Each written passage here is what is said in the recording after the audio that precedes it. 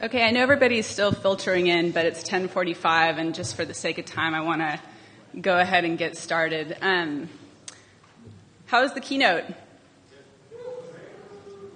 I missed it. I was preparing for this, so I'll have to follow it on Twitter later. Um, so, thank you all for coming to my session. It's called "Don't Let Crappy Content Ruin Your New Site."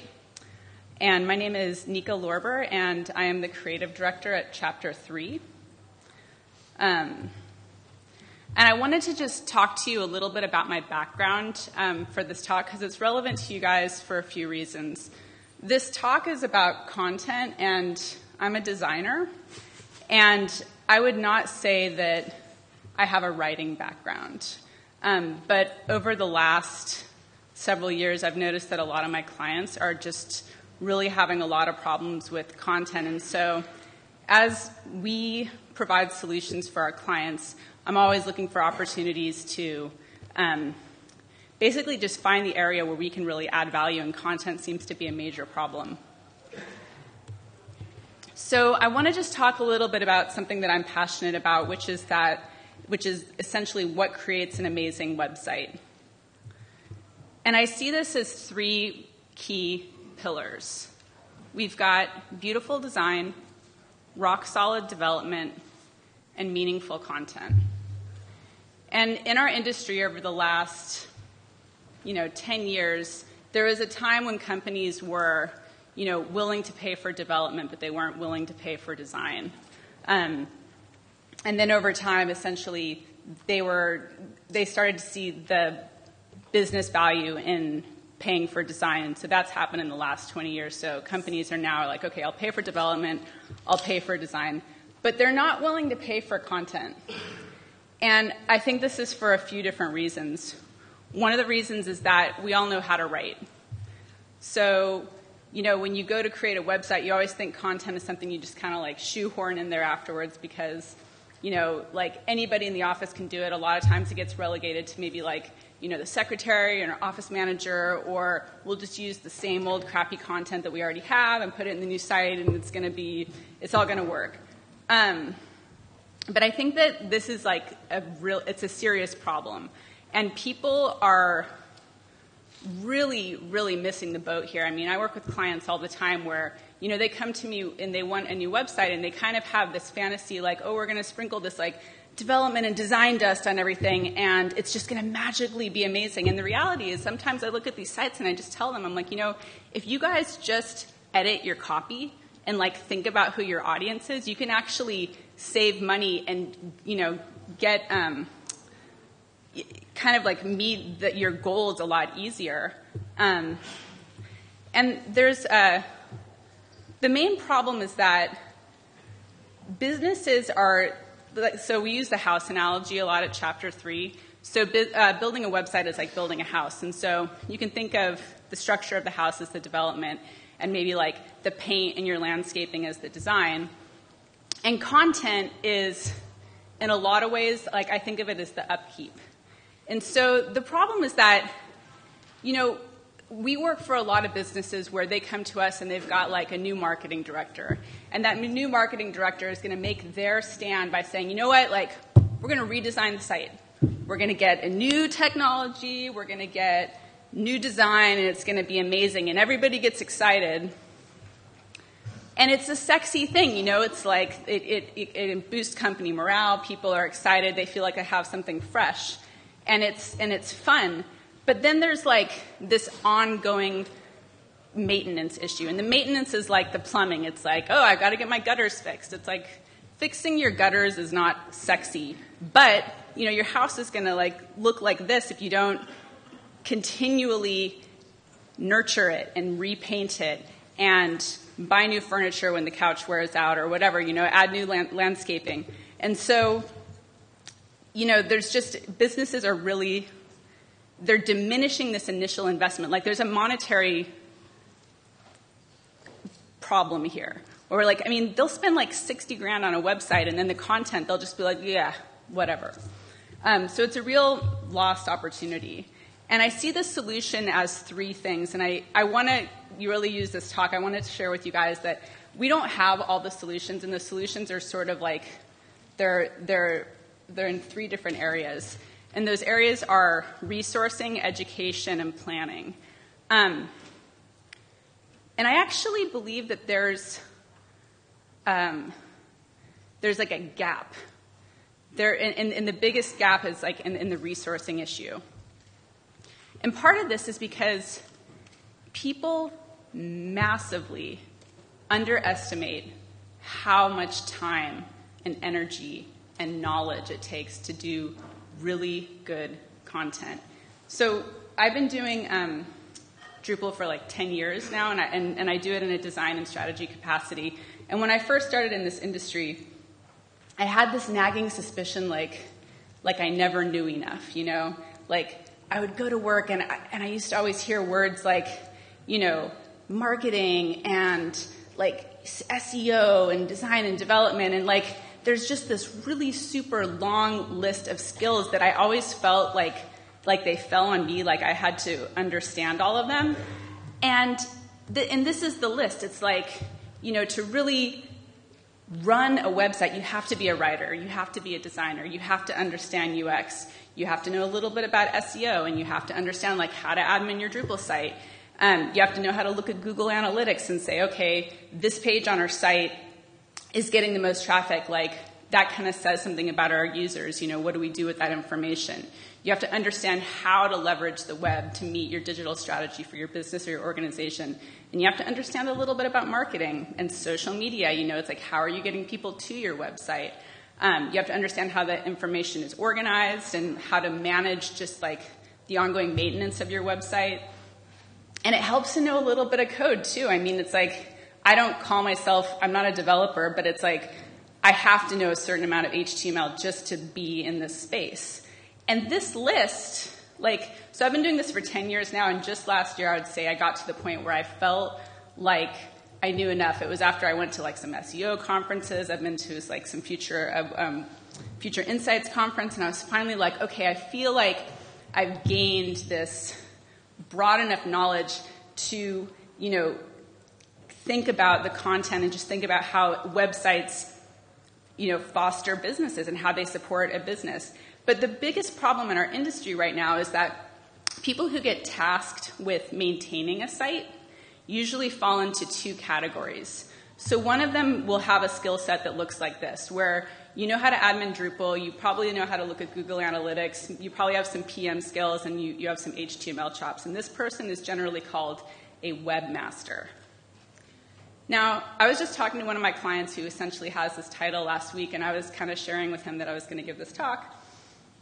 And he's like, Yeah, people like ask me to fix the printer, and they think that I'm just like this you know, this, this tech monkey that just is like, you know, do this webmaster. It's like that title is problematic, and it's problematic from a political standpoint because a lot of you in this room have probably witnessed this where like if somebody has that title, it's kind of a it's it's not a very glorious title. It's it sucks. It's like that person, for instance, if that person with the title of webmaster goes to a C-level uh, decision maker and says, hey, C-level decision maker, like, we might need to rethink the content because, you know, the, the analytics say this and whatever. And like, I see this all the time where because of that title, people don't take that person seriously. And that person is on the ground, like, they know a lot, but it's a little bit of a, yeah, I mean, it's, it's like a political issue and it's a title issue. And then, like, the, on the other spectrum of this are people that have these skill sets. And so maybe you're a writer, you're a marketer, you might have like some actual um, background in, in doing marketing, and maybe it's not even related to the web. And the problem I see most often with these folks is that they say, I'm not technical. And they wear that like a badge of honor. Those people are going to lose their jobs eventually. Like, that is not a good thing in today's digital economy. You know, those people have to become technical. You have to reach out and like embrace this cross disciplinary skill set that is totally necessary for us to truly make great websites. And so I believe that content needs a champion. I was trying to find like a better graphic than this, by the way. I was trying to come up with something that really said champion, but this is what you guys get. I'm sorry. I think the underlying quality in this individual who does this position is curiosity. So, in our industry, anybody who claims to be an expert has just been doing it like a year longer than somebody else. We're in an industry where it changes every year and we're always, you know, like growing and striving. And so that quality of being curious is like fundamental to figuring out how to make a website work for your business and your organization. And you basically have to say, okay, I don't know anything about SEO, but like I'm willing to read a blog about it or learn about it and then figure out what to do with that information. Um, Because if you don't, like, you're really, you're, you're not appreciating the fact that the web is just this, like, it's this, it's all these things are crossing, you know, it's not just one skill set. And it's, and it's tough because it's like it takes a long time to learn all this stuff, but at least if you have that willingness, like that gets you most of the way. You know, whenever like we go to hire folks at chapter three, we're always like, you know, just that willingness to learn is like almost all it takes. And so I feel like we need a new position, and I don't know what it's called. We have the we have something called content strategy. We have things called, you know, marketers. We have things called you know, developers and stuff. But I, I don't, I, this is, I, I'm putting this out there as a question. I feel like there needs to be like a content director, but even that kind of fails to truly encapsulate like what this person does. Like I'm actually doing this job at chapter three for our website. Like I am the chapter three website champion. And I don't do everything on it. I, it's more like I orchestrate it. You know, I like I make sure that my design team, you know, they're they're helping do the design. I reach out to other people to help me with content, and I'm always reaching out to everyone in the office, but it's like I say, this is my website.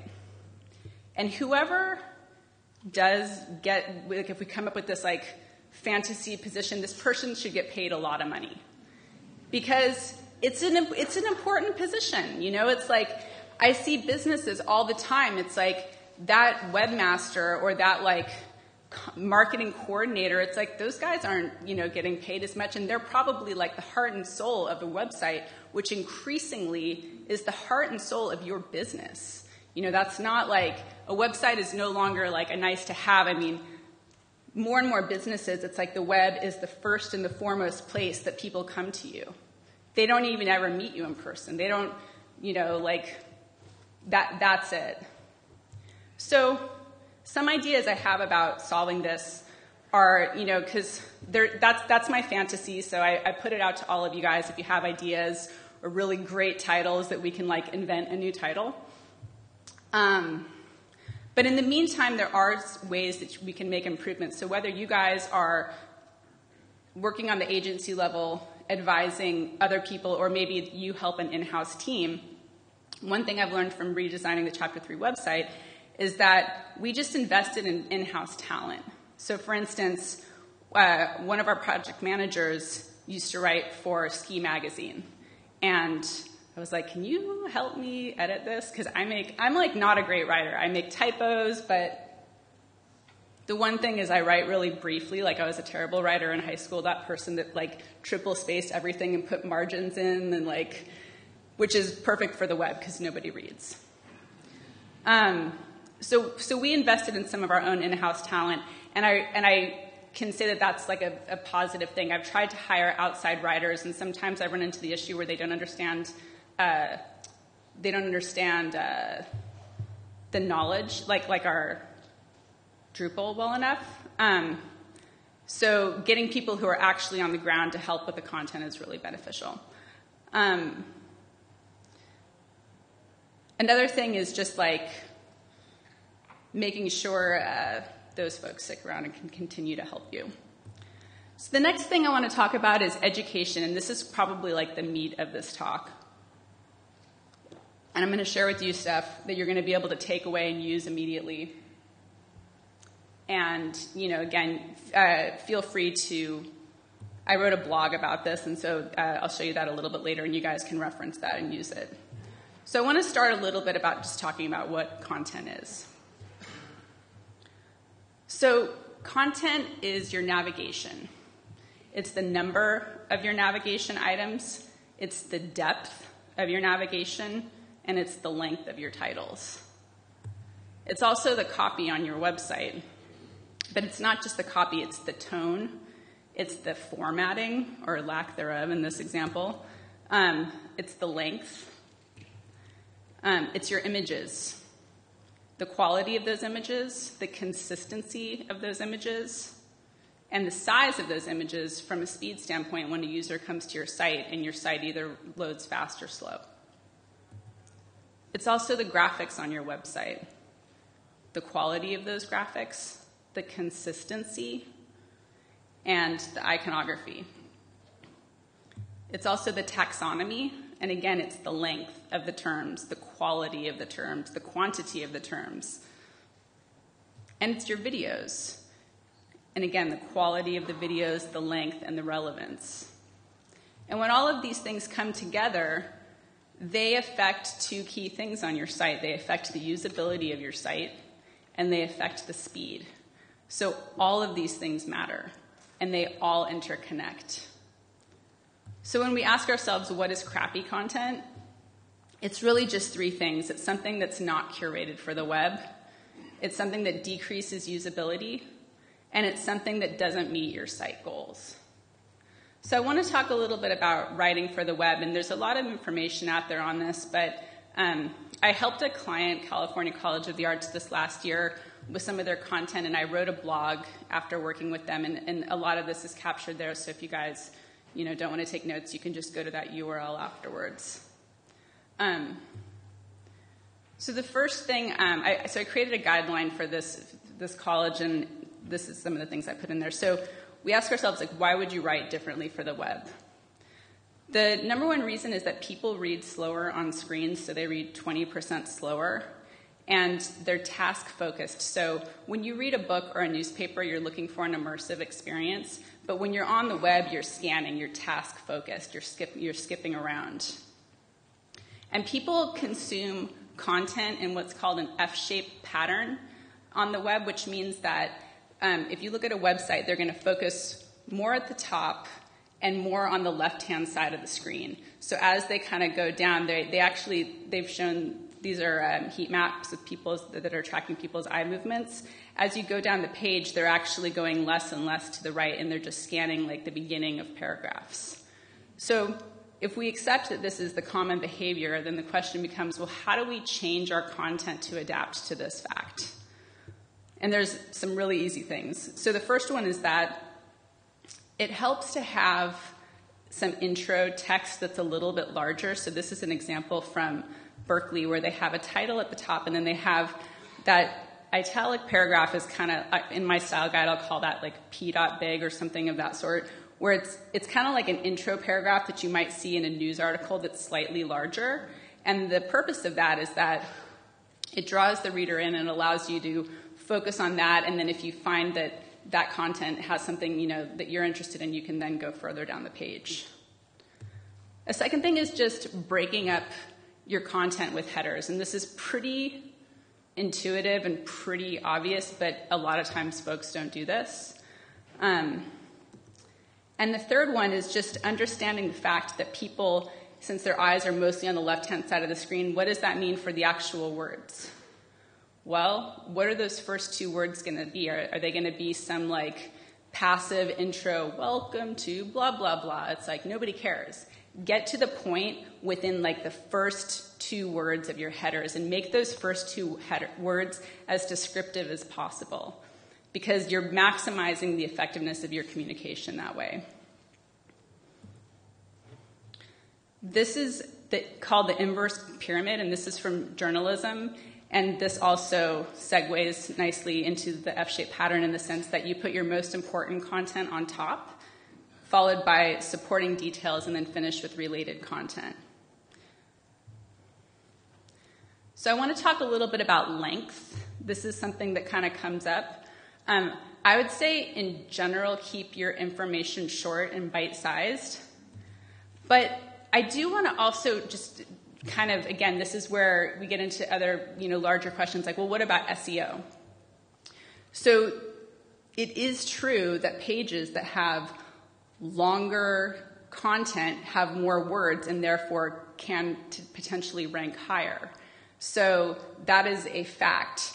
So, but, but at the same time, that doesn't mean that you should make your content long just for SEO purposes. Google has continuously been improving their ability to rank valuable content higher regardless of, you know, like this is, there's a lot of talk about this out there, whether how, how, how much, where we are with this. But essentially the idea is that in the long term, Google will only rank content that's really high quality regardless of length, but there's still some truth today that length does affect SEO.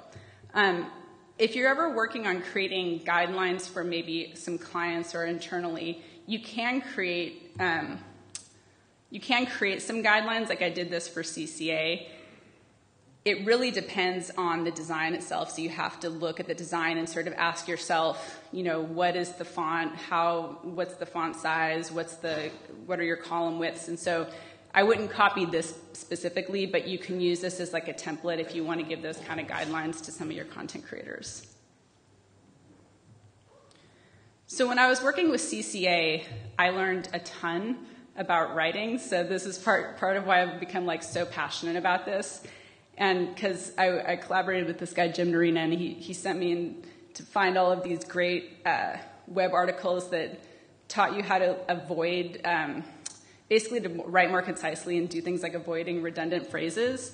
And this stuff to me was just like, it, it completely blew my mind because it affected me so much to the point that when people would start to talk to me and like they would use too many words to describe something, I'd be like, make it shorter. You're like, you're, you're using too much. You know, just get to the point. Because a lot of things, um, you know, like end result, it's like you just say result. Or, you know, advance notice, you just say notice. These things mean the same thing. You can cut a lot of unnecessary words just by realizing that they're saying the same thing. Um, and then writing concisely just kind of goes hand in hand with that. So if you ever, you know, you can analyze your own writing on your site. I guarantee you, any of you that maintain websites, you'll be able to cut a lot of content just by trying to look for things that can be pared down. So for some, for instance, something like, you know, despite the fact that, which is something we might say all the time, you can just say, you know, even or though. It can be truncated into a smaller word. Or in the event that can be just changed to if. And those small changes really add up over time because when you create shorter copy, it makes your site a lot more usable.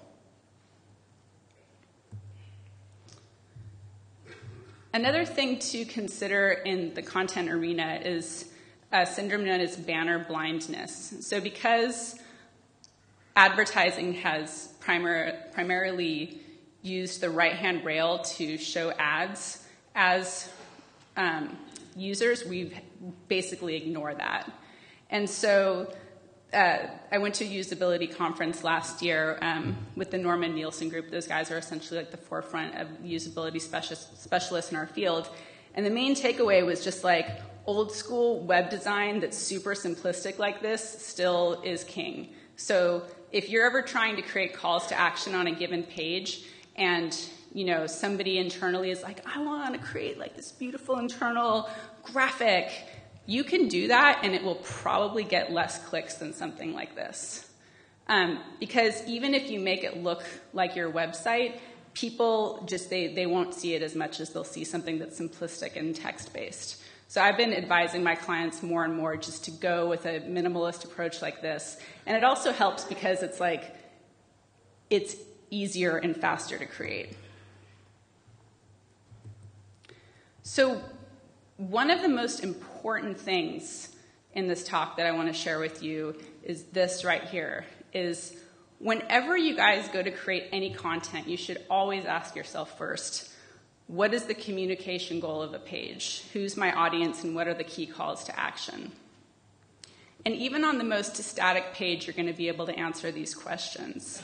Um, for those who have existing websites and who aren't creating content from scratch, I would add three more goals, which is this is more targeted towards editing, and those are what is the utilitarian function of this page? Can content be made shorter or more skimmable? And can redundant content be eliminated? Because a lot of clients that I work with, like I said, they come to me with pages that are just too long. And if they were to just ask themselves these three questions and look at some of their content, they're going to be able to cut it down by a lot.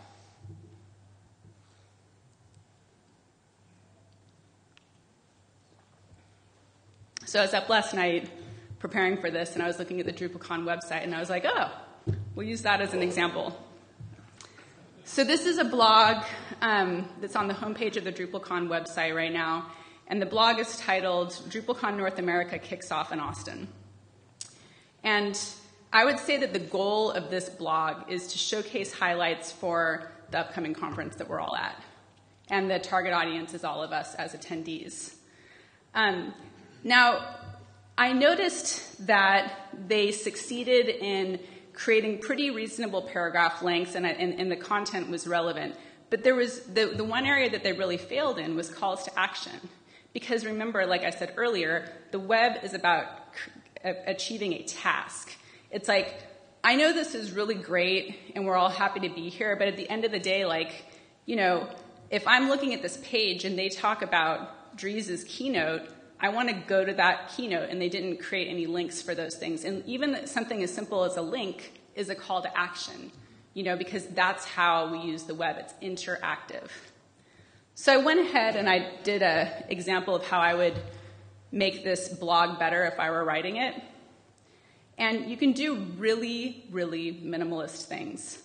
So, for instance, I bolded the, the text at the top that says more than 3,300 people because that's kind of an interesting stat. You know, it's like that's a large number of people that are here at the conference. Um, I added links for all of the events that, you know, looked kind of like they could be linkable. And then there was this big paragraph at the bottom that talked all about Drupal 8, which is a very exciting thing for us as a Drupal community, but there was no actionable links. So I just made them a bulleted list and I made them actionable links. So you guys can see with just these very small changes, you can turn even something as simple as a blog into something that's more effective to meet your goals. The other thing is that um, this makes me super happy. So I'm always uh, reading these blogs about like the latest usability studies, and essentially it's totally okay to break grammar rules on the web because it again people just skim; they don't necessarily read. So you can use things like numbers instead of spelling them out. Paragraphs don't have to be three to five sentences, and you can use sentence fragments if you're using headers and things like that. So how many of you work with clients that struggle with sourcing imagery? Yeah, same here. So, and, and again, this is that thing where it's like, all of you guys probably don't say, I'm a photographer. Like, I don't self identify as a photographer, and your clients probably think the same. But how many of you guys have smartphones? You are all photographers.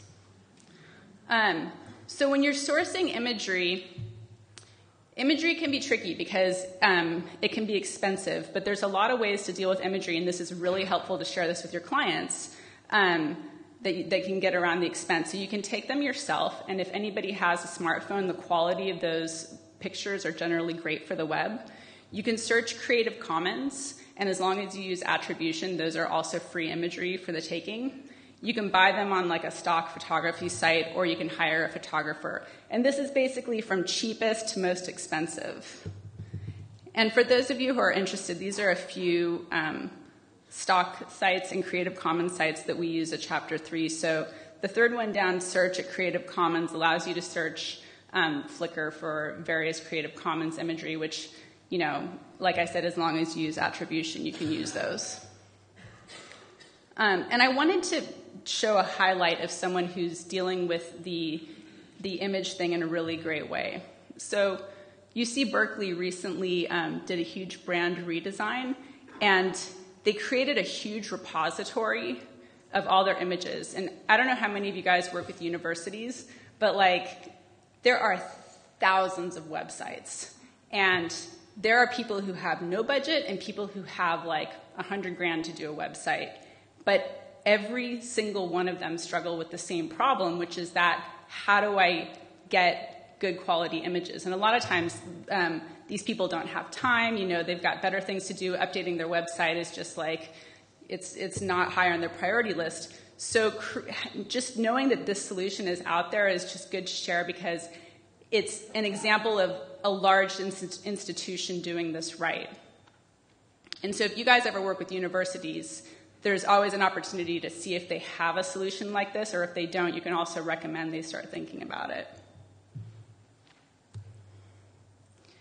So the last thing with, with um, how to deal with content starts with us as web professionals, and that's in the planning, development, and the UX stage. So, some of the questions you're going to want to ask whenever you start a project, and this should really direct the solutions that you deliver, are what is the nature of the content? And who are the content creators? You know, if there's a team of really savvy, you know, like webmaster type people, your solution is going to be different than if you have someone who's like very afraid of technology. You know, will, will it be image heavy? Who's writing and how often are they writing? And all of these things should affect how you're both designing and implementing.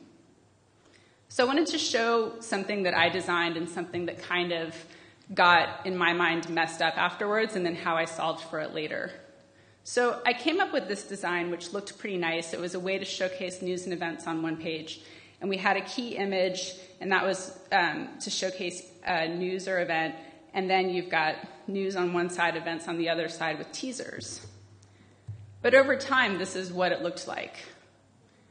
And so if we ask ourselves, why does it look like that? There's kind of a number of reasons, and some of it's on the client, but some of it is on, on my team as well.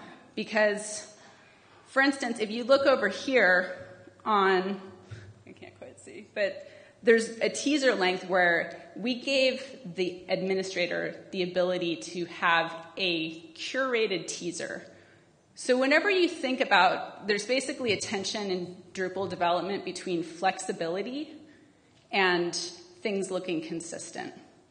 And we have to walk that line every day in the solutions we provide because, you know, the client is going to say, I want ultimate flexibility. And it's like, okay, that's great. And then that person leaves and somebody takes over the website. They don't know, you know, any of the thinking of the website. And then they like just put a whole bunch of crap up there. It looks terrible. Um, and then the other thing in this is that they just didn't even have images. So I had created a default image, but, you know, had we talked more at length in the beginning about the, true ability for them to actually source imagery, and this is a resourcing issue on their side, with every item. And if they said, you know what, Nika, like this is just too hard, I don't want to commit to this, I would have said, that's fine, we can come up with a solution that's not image based. So, what I've been doing now is I've been honestly simplifying things. So, this is another site I designed recently where the teaser length is truncated not even by word but by character.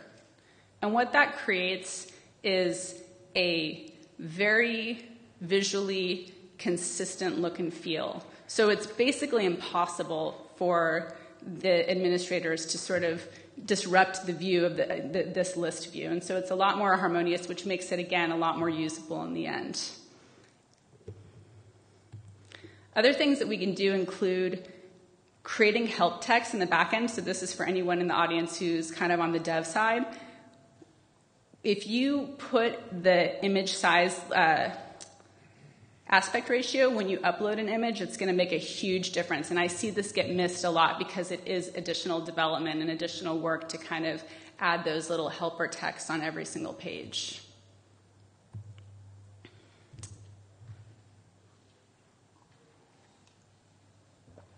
I keep on showing Berkeley, but these guys have just done some really cool stuff lately that I'm really impressed with. So the final thing is that like if you're trying to create a system where people really, really, really can't like fuck up their websites, it's it has to be really structured. So what these guys did, and I totally applaud them, is that this page that you're looking at here is like very rigid. You always have that orange bar at the top. You always have to have that key image. It's not optional. And you always have to have like the related content on the left. And these guys committed to it. They said, you know what, like, we are going to commit to having that imagery. We're going to commit to keeping our, um, you know, to having like the related content, and they've and they've done it. And that's a sales job on our end. So if we can convince the clients that it's to their benefit to have that kind of structure. It's really going to help them. But it's a bit of it, there, there's always a bit of a tension there because the client, you know, when they're saying what they want, they say they want flexibility, but in the end, it kind of can have some um, unexpected negative consequences. The other thing that we can do from a planning standpoint is to give our content administrators more tools. So a lot of times I see sites that get set up and you pretty much just have a WYSIWYG and that's it. And there's more components that you can add to a site and even like a basic page construction to uh, make it more flexible. So one of these things is just using um, accordions. And the one thing you want to be careful about is just not to overuse these, but just having this ability on any given page will give a lot of, it, it basically allows more opportunities to condense content so that you don't have to expand your navigation. And then also styling anchor links. So for when you guys have really long pages, I see anchor links on the web all the time and they're almost never styled. And what that does is it creates an unexpected experience when you click on an anchor link and suddenly you zip down the page. So having a more consistent design of these things better orients the user when they're going to a page what's going to happen. And one thing I've been doing a lot on my projects is trying to come up with, again, this is like that tension between flexibility and structure. So I've been building these kind of basic pages on a lot of sites that give the end admins a ton of layout options. So all of these slices here basically allow the user to either create a two or a three column layout. In each of those slices on any given page, you can have one, some, or all of these. Now, this is a risky design because, as you can expect, this is extremely flexible. So they could easily add things in here that, that can cause problems. And so, what I've started to do is I've started to create something called um, Drupal specific editorial guidelines. And what that looks like is it's something very easy to create. I just use a um, Google Doc and I cut and paste the design elements into a bulleted list. And I just write down things like the, the recommended character count for titles and body copy and the image sizes. And this can serve as a reference for the client on launch and also going into the future. And you can design this to make it look a lot more beautiful, but at the end of the day, it's just something that's utilitarian that allows them to admin their site effectively. So this approach has been really positive for us so far. And I want to talk a little bit about what happens when you don't create this guidance, because with responsive design, image sizes are like this unwieldy, unpredictable thing. So on this site right here, when you have it go responsive, their images are super pixelated because they uploaded these graphics and what they probably did was said, oh, this is like the comp, like it's 300 pixels, upload that. And it's like, well, that's great, but your breakpoint's at 640. So your images look terrible at the breakpoint when you look at them on a larger tablet device. Um, so those kinds of editorial guidelines are a, a new deliverable that can kind of help that. And when I worked with CCA, one of the things that I realized was that people learn differently. Like some people need to hear directions in person. Some people need to see something that's more designed. Some people, you know, need to talk back to say, oh, like, like hear themselves say what you just said to them, and then that helps them learn. And just accepting that fact and figuring out, like, okay, if you have a large, decentralized group of content administrators, for instance, which is what these guys had, how do you get them all to create content that's consistent? So what I did with them was I, I actually, I, a lot of times I don't create really fancy deliverables, but for that um, th- that are just guidelines because it's it's like more it's it's not time efficient. But for these guys, I did it, and part of it was because some people, in order for them to understand the guidelines for how to write, it's like the visual helped them get it and had like that, oh, that aha moment. And so I created that for them, and in addition to that, I met with them in person, and I literally met with all of their key content teams. Um, and that really helped them understand that, you know, like just for those people who need to hear it in their ears, that, that helped to sink in for them. So the last thing has to do with how we self identify. So, as I said in the beginning, I do not self identify as a writer. But I find myself in these situations constantly where the content, the copy is the problem, and I feel compelled to solve it. So, this is a design that Garrett did, and he came to me and he said, Hey, what do you think about this? And I said, You know, the design structure looks fine, but this this copy sucks. You know, this is like a real problem. I'm not reading this. Like I always say, like if I stare at a page and I'm not automatically reading it, then there's something wrong. Um, and so we didn't even ask the client. I said, listen, let's just write a sentence of what we think this means and give it to them and like see what they say. And so we did that. And then they said, oh, okay, that's not quite right, but here, let, let me just change it a little bit and like, let's change it to this. So that started the conversation and it allowed us to get to a point where it's like, it, it's a much more effective landing page where you can actually read the copy. I mean, and, and it so I really encourage all of you guys to, to not be afraid to do that. You know, don't be afraid to be a photographer. Don't be afraid to be a writer. Don't be afraid to, you know, propose a solution, even if it's a little bit outside what the client's asking for, because the content oftentimes is the easiest thing to fix.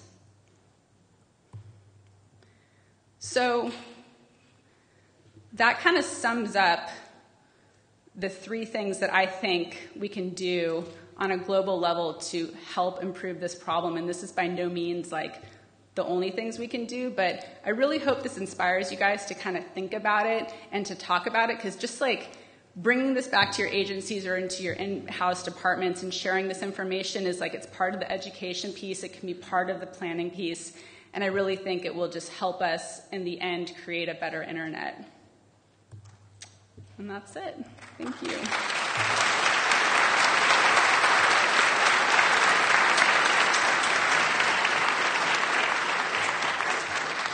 And for anybody that's got questions, I've got special giveaways for question askers up here.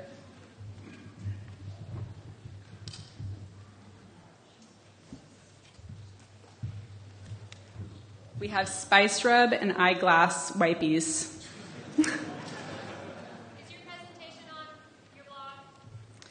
The entire presentation is not on the blog, but I heard that these are all going to get uploaded to YouTube in like 20 minutes.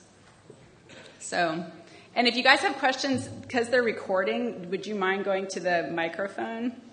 I know that's kind of asking a lot.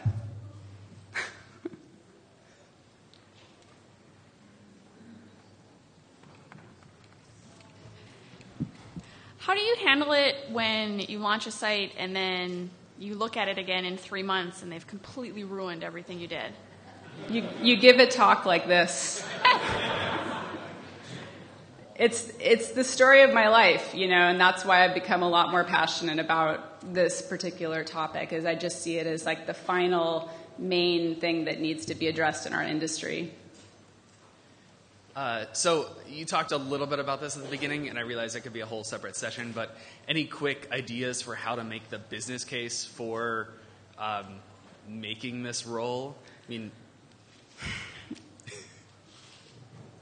I don't have the exact answer to that, but the only thing I can think of is that if you think about it in this way, think about when you were in college and you imagine how long it took you to write a term paper. Now imagine that the success and or failure of your organization depends on the quality of the copy in that term paper. Now imagine how long that would take to write effectively. That starts to paint a picture in I think everyone's head that we can all relate to as far as like the time because it's like I think that's the biggest thing is it's a it's a really time consuming task that people usually underestimate and it's like but that that starts to at least get the conversation going. Okay, thanks.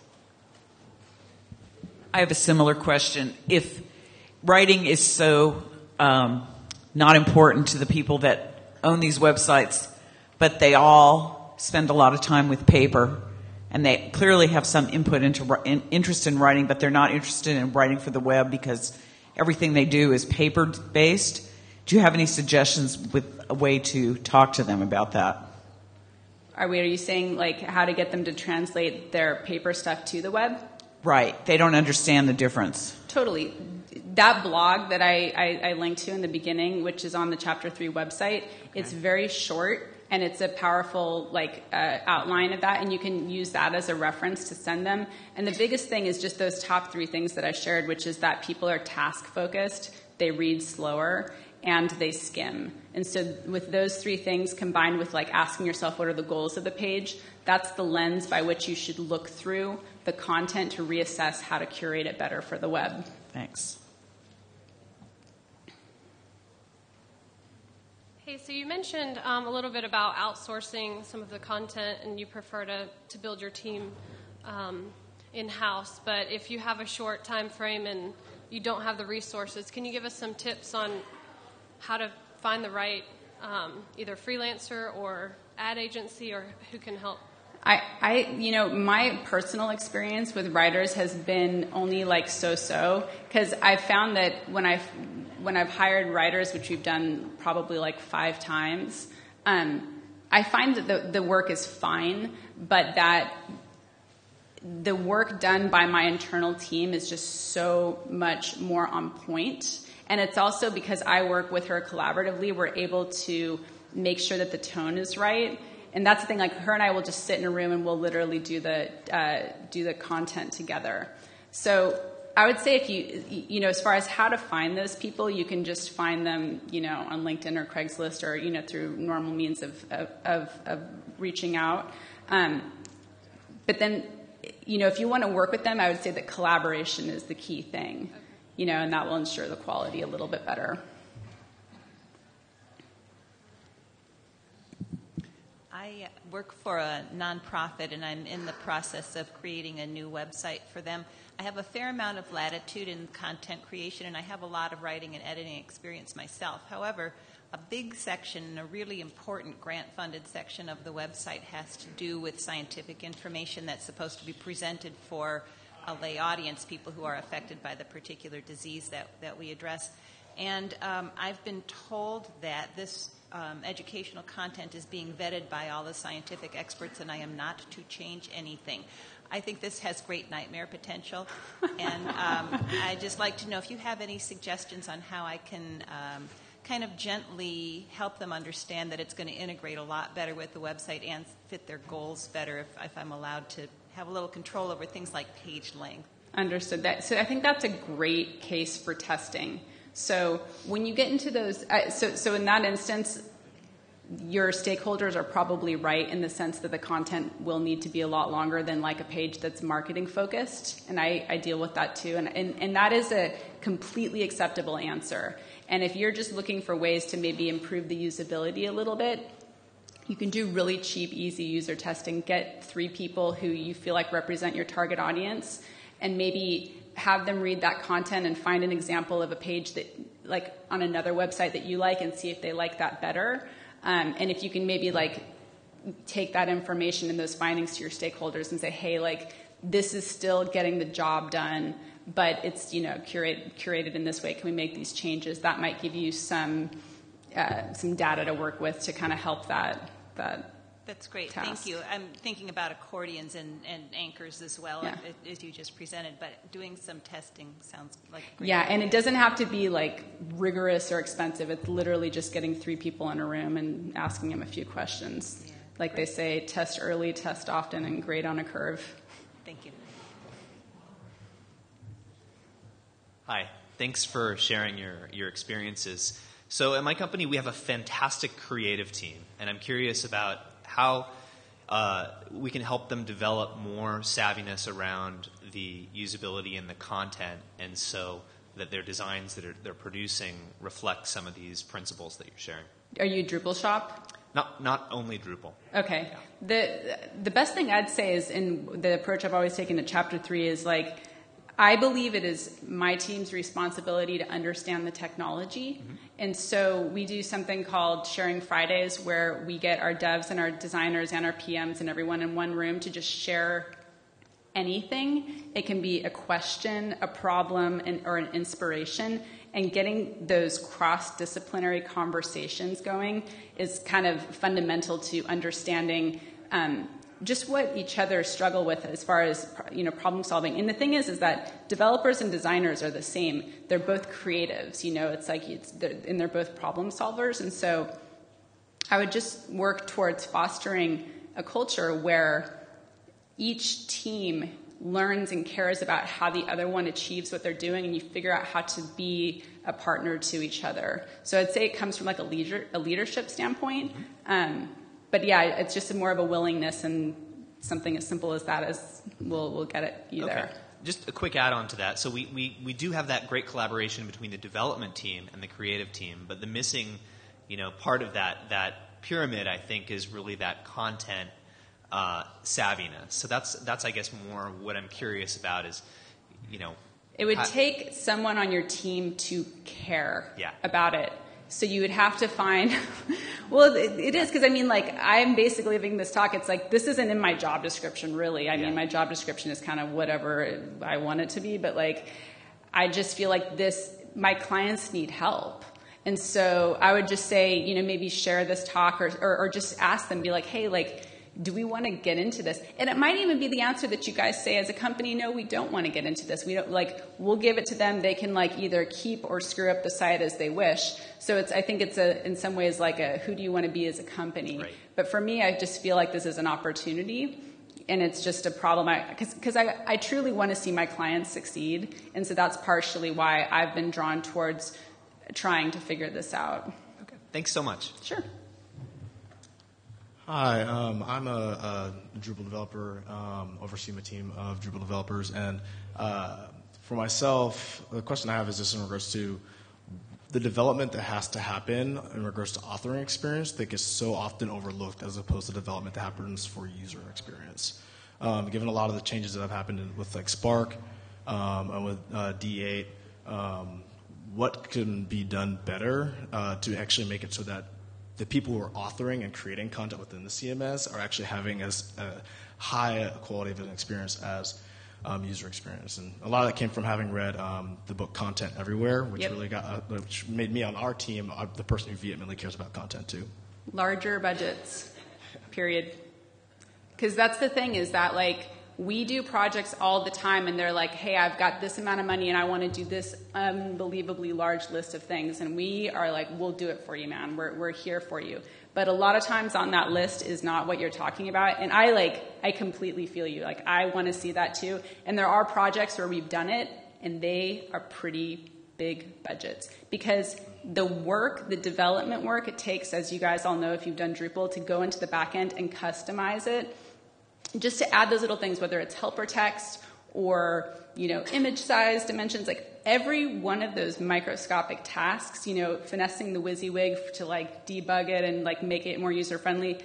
Those things add up, and development hours cost a lot of money, and a lot of companies just don't have those budgets. But more money.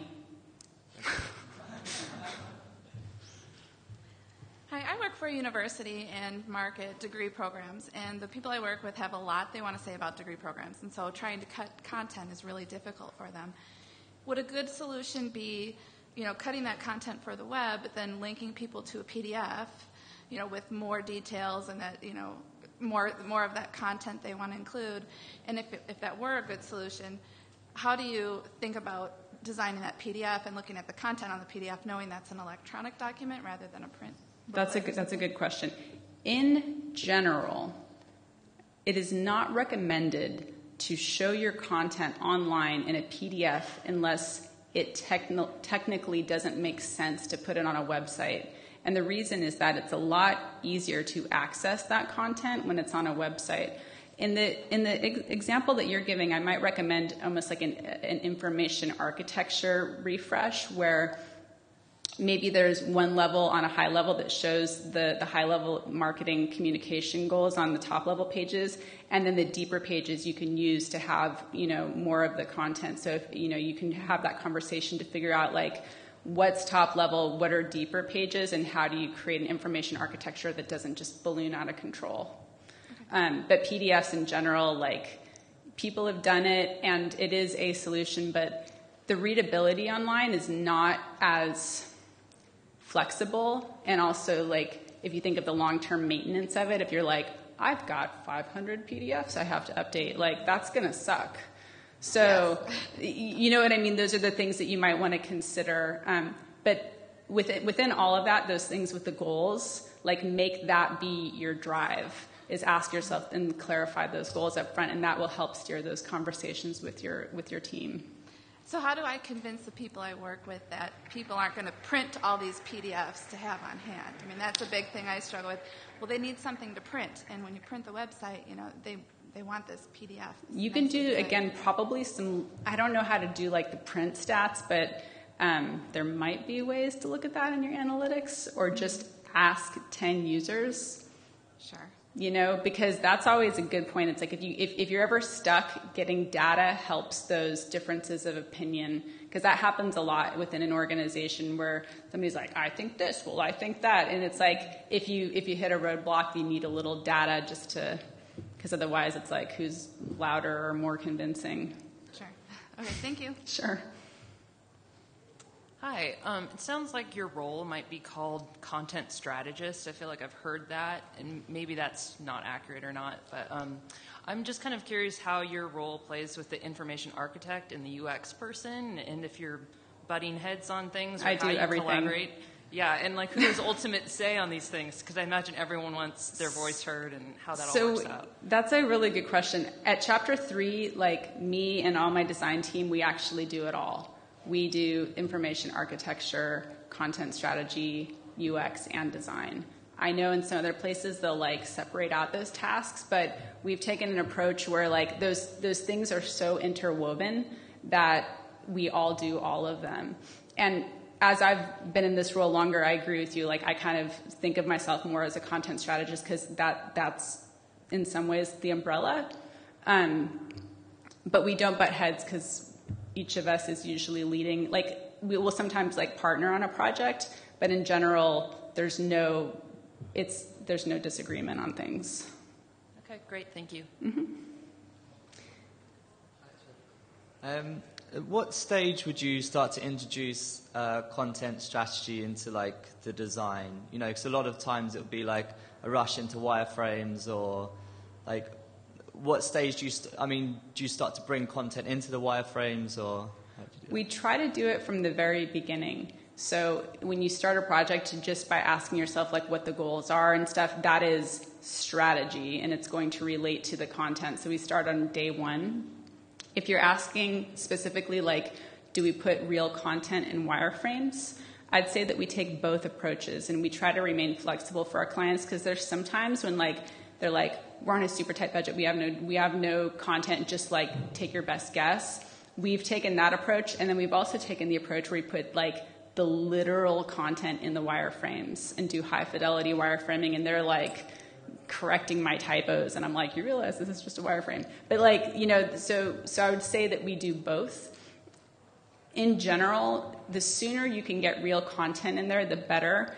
But because what we do has so many variables, there are times when sometimes you just have to like put it in when you get it because it's like we don't always have control over those things and we have to be flexible.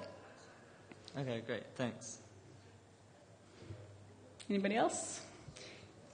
Feel free to come and get some of these goodies, you guys. Thank you so much.